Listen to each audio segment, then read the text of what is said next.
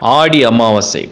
இந்த ஆடி அமாவாசை அன்னைக்கு செய்ய வேண்டிய சில முக்கிய குறிப்புகள். இதை செய்யறதுனால பரம்பரையாக இருக்கக்கூடிய தோஷம். குறிப்பாக கல்யாணம் ஆகாத ஆண்கள். அந்த ஆண்களுக்கு நிறைய பேர் கல்யாணம் ஆகிறது இல்லை பெண்களால் அதிர்ஷ்டம் இல்லை. பெண்களால் சோகங்கள். இல்லை குடும்பத்தில் வந்து ஒரு நல்ல பந்த உறவு ஏற்படாமல் எத்தனையோ சாபங்கள். இதெல்லாம் நிவர்த்தி அடையணும் விமோச்சனம் அடையணும்னா இந்த ஆடி அமாவாசையை தேர்ந்தெடுத்து நீங்கள் செய்யக்கூடிய தர்ப்பணம் இல்லைனா உங்களுடைய பித்திருக்களுடைய சாப நிவர்த்தி பித்திருக்களுடைய ஆத்ம சாந்தி அம்பாளுக்கு செய்யக்கூடிய பூஜை அம்பாளை வழிபாடக்கூடிய முறை இதை நீங்கள் செய்யும் பொழுது உங்கள் குடும்பத்தில் உள்ள ஏழு ஜென்மமாக தங்கி இருக்கக்கூடிய தோஷம் பாவம் குறிப்பாக தாய் குலம் வழியில் வரக்கூடிய பாவங்கள் எல்லாம் நிவர்த்தி அடையும். எப்படி இது நிவர்த்தி அடையும்? ஆஸ்ட்ராலஜிக்கலாக இதில் ஏதாவது ரீசன் இருக்கானா? சந்திரன் பனிரெண்டு அதாவது ஒரு வருஷத்தில் பன்னிரெண்டு மாதம். அந்த பன்னிரெண்டு மாதத்தில் சூரியன் கடகத்தில் இருக்கிறது தான் வந்து ஆடி மாதம் அந்த கடகம் அப்படிங்கிறது காலபுஷ்ட தத்துவப்படி நான்காவது வீடு. கடகம் சந்திரனுடைய வீடு. அந்த கடகம் ஒரு பெண்ணுடைய வீடு. கடகம் நீர்நிலை கடல் சமுத்திரம் சொல்லக்கூடிய ஒரு வீடு. இந்த இடத்துல சூரியன் பன்னிரெண்டு மாதங்களில் ஒரு மாதம் பிரவேசிக்கும். அதுதான் ஆடி மாதம். அந்த ஒரு மாதத்தில் சந்திரனுடைய வீடான அந்த கடகத்தில் சூரியனும் சந்திரனும் ஒரே இடத்துல சந்திக்கிறது தான் அமாவாசை. அமாவாசைனா சந்திரனும் சூரியனும் ஒரே நேர்கோட்டை ஒரே டிகிரியில் வர்றது தான் அமாவாசை. அந்த அமாவாசை சந்திரனுடைய ராசியில் இருக்கக்கூடிய சூரியனோடு சந்திரனுடைய ராசியில் இருக்கக்கூடிய சந்திரன் சேருவது இதை தான் வந்து ஆடி அமாவாசை ஆடி மாதம் வரக்கூடிய அமாவாசை. இதில் என்ன விசேஷம் அப்படின்னா ஆண் தெய்வங்கள் பெண் தெய்வங்கள் இந்து சமய சாஸ்திரங்களில் உண்டு. இதில் பெண் தெய்வங்களில் அம்பாள் வந்து ரொம்ப முதன்மையான முக்கியத்துவமான ஒரு தெய்வம். ஏன் அப்படின்னா கருணை உடையவள் தாய்.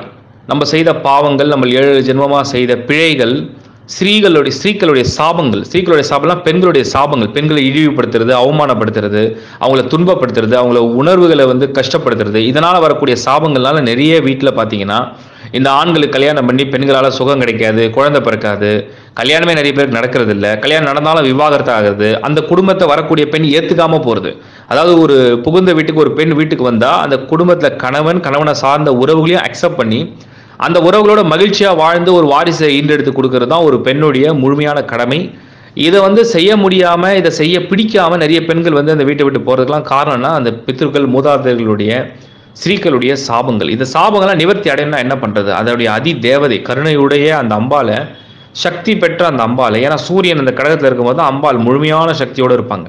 அவங்களுக்கு பரிபூர்ண ஆற்றல் பலம் யுக்தி சக்தி எல்லாம் உண்டு. அந்த அம்பாலை நீங்கள் வணங்கி மனம் உருகி நீங்கள் பிரார்த்தனை செஞ்சீங்கன்னா அது ஆடி அமாவாசை அப்போ. உங்களுடைய பரம்பரையில் உள்ள தோஷம் நோய்கள் தாய்க்கு தோஷம் இருந்தால் தாயோட தோஷம் நிவர்த்தி அவன் தாய்க்கு நோய் இருந்தால் நோய் நிவர்த்தி. குடும்பத்தில் திருமணம் நடக்காத இருந்தால் அந்த திருமணம் நடைபெறக்கூடிய ஒரு அருள் நல்ல அருள். பெண்களாக இருந்தாலும் ஆண்களாக இருந்தாலும் இது பலிக்கும். குறிப்பாக பெண்களுக்கும் நிறைய நல்ல வரன் அமையாமல் நல்ல கணவன் அமையாமல் அவங்க வாழ்க்கை தனிமையாகவே கன்னி பெண்களாகவே இல்லை கல்யாணம் நடந்து தோஷம் அடைந்து அதனால் அவங்க அவஸ்தைப்படுறது. இதெல்லாம் இந்த சாபங்கள்லாம் நீங்கி நல்ல அருளோட மன மகிழ்ச்சியோட சுப பலன்கள் நடக்க தான் இந்த ஆடி அமாவாசை அன்னைக்கு. பித்ருக்கள் உங்களுடைய மூதாதிரிகள் வந்து ஒரு ஆத்ம சாந்தி தர்ப்பணம் கொடுக்கறது. அவங்களுடைய ஆத்ம சாந்திக்காக பூஜை பண்ணுறது வீட்டில் அம்பாளுக்கு விளக்கேற்றி நீங்கள் வந்து வழிபாடு செய்கிறது கோயிலுக்கு சென்றும் நீங்கள் அந்த அம்பாலை வந்து வலம் வந்து வழிபாடு செய்கிறது இதெல்லாம் செய்யும் பொழுது நிச்சயம் நற்பலன்கள் நடக்கும்.